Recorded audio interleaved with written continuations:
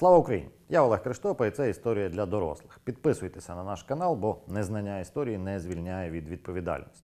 У попередньому випуску ми розповідали про створення організації українських націоналістів. Сьогодні продовження про те, як ОУН розпалося на Бандерівську та Мельниківську частину. Але спочатку згадаємо, як воно власне утворювалося. Лютий 1929-го. У Відні 30 українців засновують організацію українських націоналістів. Після завершення конференції її учасники стають до спільної світлини. Однак троє Ленкавський, Охримович та Зеблікевич спочатку фотографуватися не бажали з міркувань конспірації, були громадянами Польщі і мешкали на її території. Врешті їх вмовили. Це виявилося помилкою. Фотографія з підписами невдовзі потрапила до рук польської поліції. Одного з фігурантів Степана Охримовича арештували, і під час тортур у відділку він помер. Згодом виявилося, що фото потрапило до рук польської влади з рук зрадника Романа Барановського. Він довгий час працював на поліцію, але врешті теж був заарештований і засуджений. Коли на так званому самбірському процесі з'ясувалася його співпраця з органами безпеки Речі Посполитої, родина Романа надрукувала в українській пресі зречення. Заявляємо оцим, що вирікаємося раз на все нашого сина Романа і не хочемо ні ми, ні наші діти з ним мати ніяких зносин. А то тому, що він через свою юдину роботу позбавив здоров'я не одного українця. Його поступки не гідні не то українця, але ніякої чесної людини. До речі, Роман Барановський був рідним братом Ярослава Барановського, одного з лідерів організації українських націоналістів. Після вбивства Євгена Коновальця постало питання, хто наступний очолить організацію. Сам Коновалець заповідав передати бразди правління своєму другові, полковнику Андрію Мельнику. Натомість більшість так званих краєвиків хотіла бачити на чолі ОУН свого колишнього лідера Степана Бандеру. Було одне але Бандера на цей час сидів у тюрмі. Польська агентура доповіла про те, що ОУНівці готують його втечу. Тюремний режим посилили. Бандера з іншими членами ОУН організував 16-денне голодування на знак протесту проти утисків адміністрації. На початку 1938-го Бандеру через малу надійність в'язниці у Кельці перевели у Воронки біля Познані. Нова спроба втечі. Підкупили одного з нічних стражників, якому пообіцяли 50 тисяч злотих. Він мав вивезти Бандеру з одиночки, сховати в комірчину, а в його постіль підкласти імітацію. В останній момент план зірвався. Закралась підозра, що при спробі втечі Бандеру можуть застрелити. Його переводять до іншої тюрми Бригітки у Бресті. Поки тривали марні спроби визволити Бандеру з заград, у серпні 1939-го головою проводу ОУН був офіційно обраний Андрій Мельник. Андрій Мельник, полковник армії УНР, один з найближчих соратників Євгена Коновальця, організатор формації січових стрільців у Києві, один з творців УВО. Був засуджений поляками за націоналістичну діяльність. Після виходу на волю відійшов від активної політики. Служив головним лісничим у митрополита Андрея Шептицького. 1 вересня 1939-го Німеччина і СССР розпочинають Другу світову війну як союзники.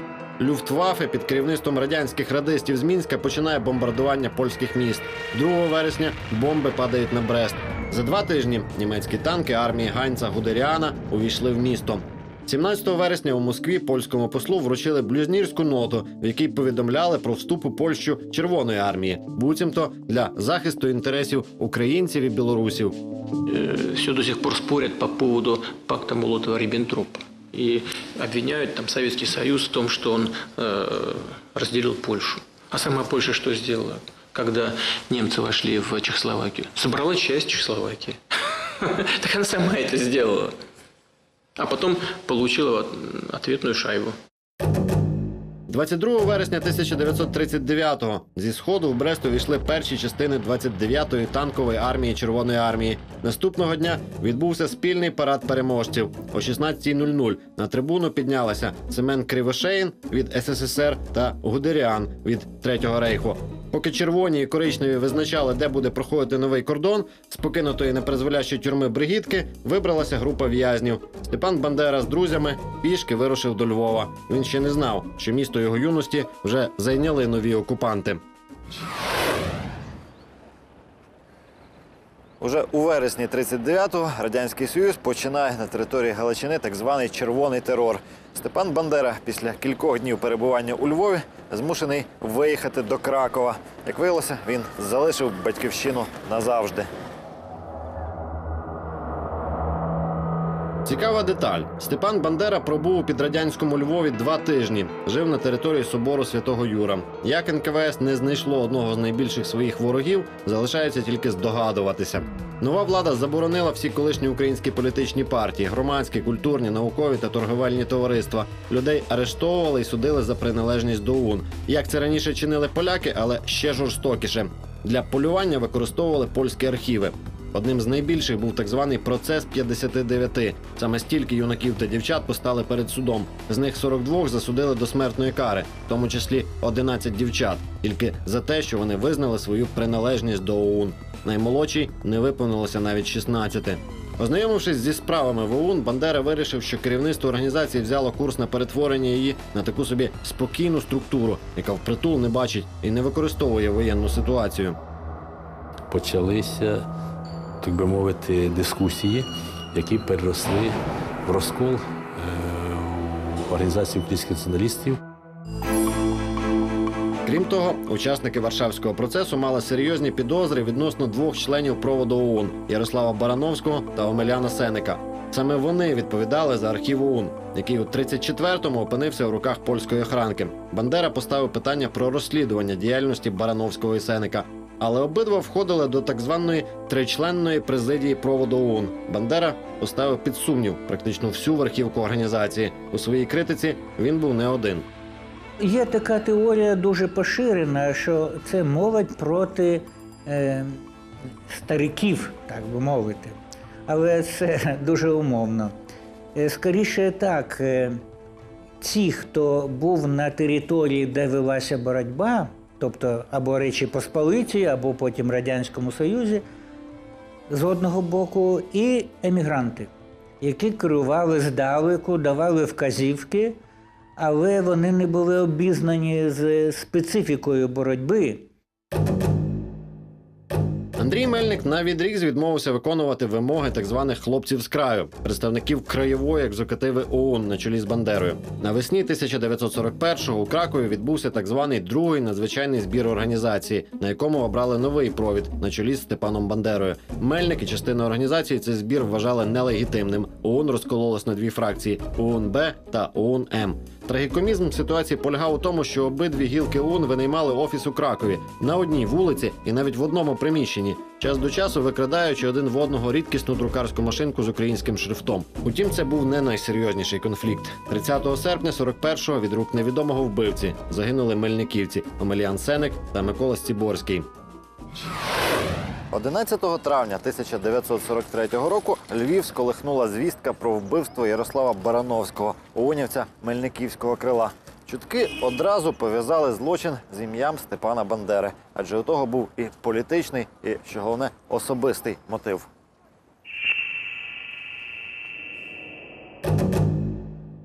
Свого часу лідер ОУН, а тоді рядовий член організації, був закоханий у красуню Ганну Чемеринську. Ганна відмовила Степанові і згодом вийшла заміж за Барановського. Мельниківське крило багато років поспіль звинувачувало Бандеру. Той звинувачення відкидав. Помирити Мельника і Бандеру взявся митрополит Української греко-католицької церкви Андрей Шептицький. Марно. Об'єднати дві гілки ОУН намагався навіть керівник Аберу Вільгельм Канаріс, який мав власні плани на організацію, щойно почнеться війна з радянським союзом. Теж дарма. Обидві фракції ОУН мали одну ідеологію, одні цілі, навіть приблизно однакові шляхи досягнення цих цілей. Відрізнялися вони тільки фігурами лідерів. Мельник і Бандера були повними антиподами. Різне було все, навіть почерк. Бандера писав так, як Богдан Хмельницький. Ось так, от розмашисто, там величезні літери, а особливо підписувався теж так масштабно, красиво. А для прикладу Андрія Мельника був почерк дуже такий дрібнесенький, дрібнесенький, щільний і щільний дуже сильно. І щоб прочитати листи Мельника, треба брати лупу.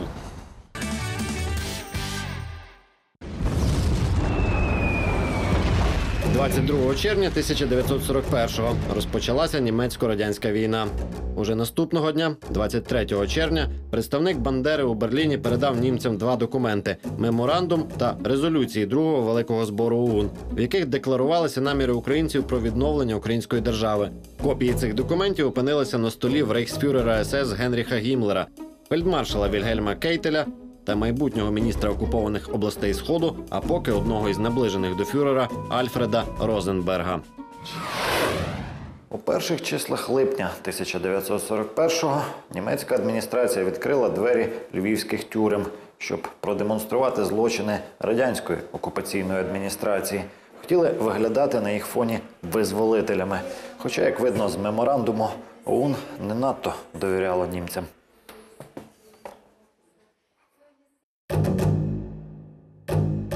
Якщо навіть німецькі війська при марші в Україну будуть спершу привітані, очевидно, як визволителі, то це наставлення може швидко змінитися, коли Німеччина прийде до України без відповідних обіцянок щодо свого наміру відновити українську державу.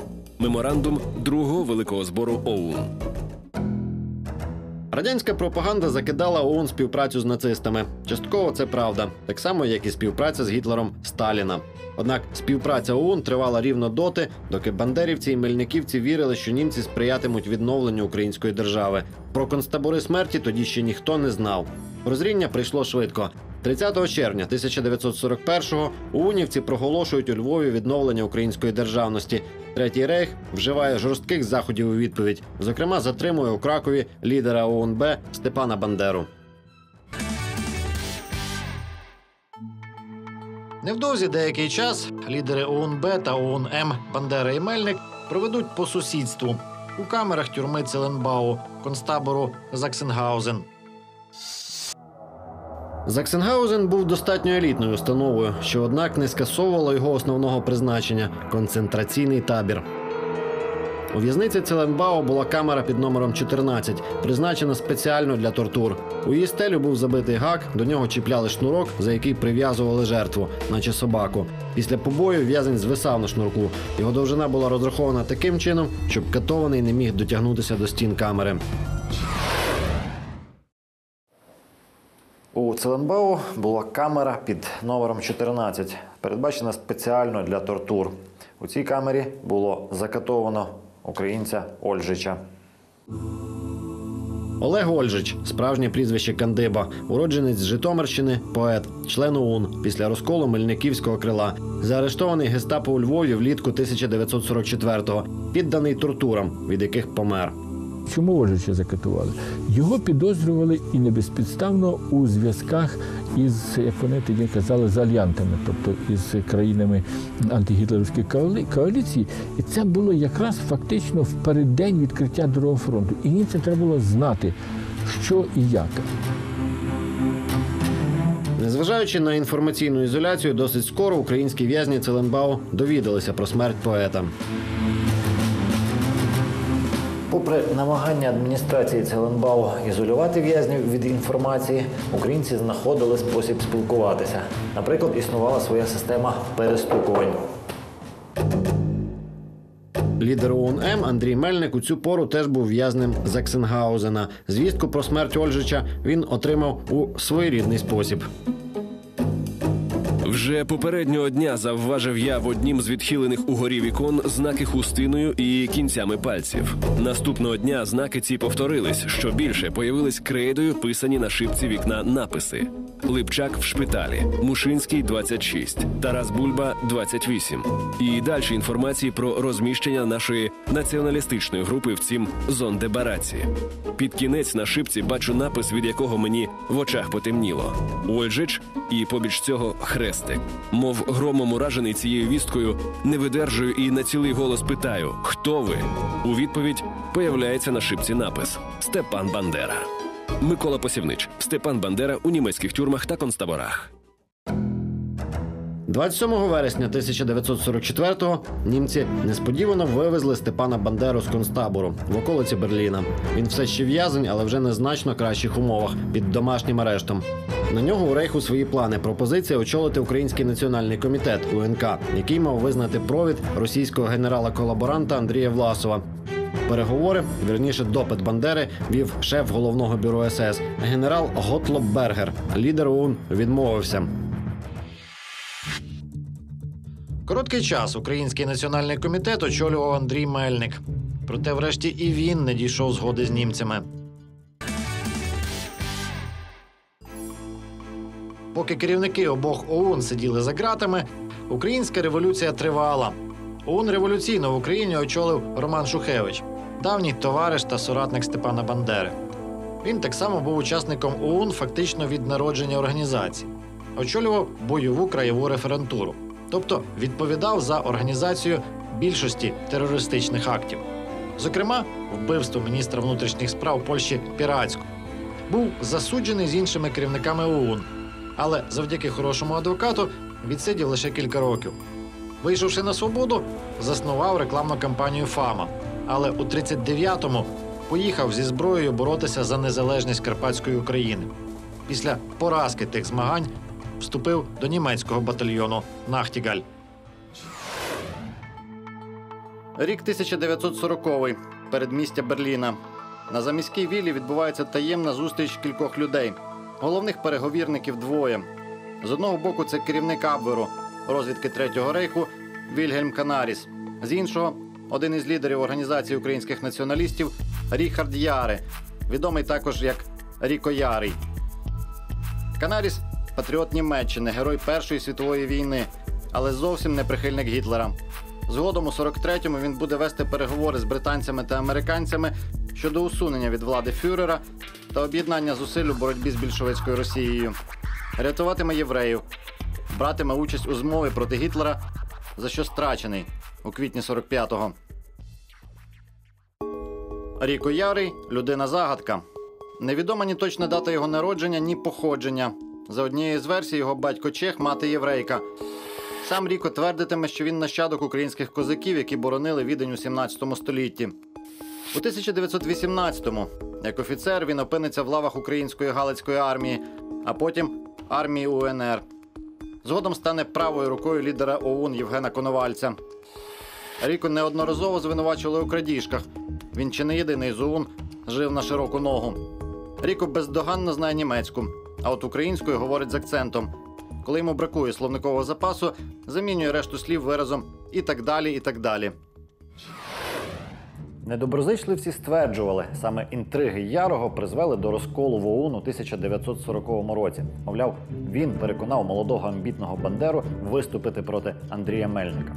Прихильники останнього також звинувачували Ярого у тому, що він агент Кремля.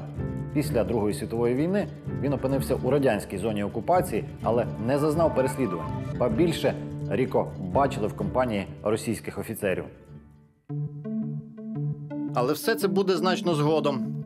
Поки ж Ярий та Канаріс домовляються про створення з числа унівців двох диверсійних батальйонів, які щойно розпочнеться війна Німеччини проти СРСР, почнуть діяти в тилу ворога. Канаріс прихильно ставиться до ідеї незалежної України. Уже за кілька місяців починається створення батальйонів Роланд та Нахтігаль. Роман Шухевич вступив до батальйону Нахтігаль. В ньому він е, був е, одним із командирів. Офіційно командували німці. Е, Командиром був Герцнер, заступником був Теодор Оберлендер. 22 червня 1941-го Німеччина віроломно напала на СРСР. Віроломно, бо Гітлер випередив Сталіна, який хотів вдарити першим. Батальйон Нахтігаль передовий підрозділ на львівському напрямку. Випадку Абверу і його сухого розрахунку вони набрали два підрозділи загальною чисельністю е, 6-7 сотень осіб. Вони отримували е, бійців вишколених, вони отримували бійців з числа місцевого населення, українців, які дуже добре знають терен, яким будуть рухатися, які знають місцеві традиції, місцеві порядки, місцеві звички та таке інше. Червні 41-го року Коли розпочалася агресія Німеччини проти Радянського Союзу, батальйон Нахтігаль в е, складі німецьких військ також перетнув кордон і вирушив на територію України. Вже 30 червня 41-го року підрозділи батальйону з'явилися на околицях Львова, які вже ну, займала е, німецька армія. Продовження історії ОУН у наступних випусках. Підписуйтесь на канал Історія для дорослих. Слава Україні!